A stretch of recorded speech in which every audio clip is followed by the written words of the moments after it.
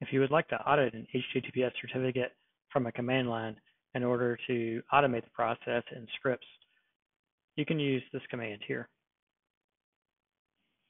Walking through the command, the echo just hits the enter key for you so that you don't have to do that at the end of the script.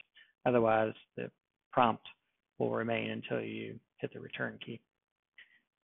Then it uses OpenSSL in order to show the certificates for the server. And this is where you would put your particular domain name.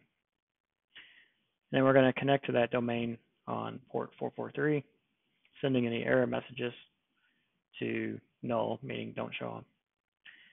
And then we'll take the information and pipe it into OpenSSL again, but this time we're using OpenSSL to parse the information into a nice format to print out in a file.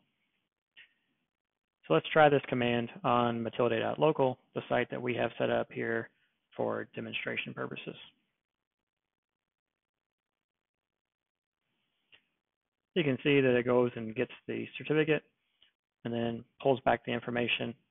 And with this, we can do our checks like checking to see if our expiration date is in the future, that the total time of the certificate is not more than one year, the number of bits on the key algorithm, and so on.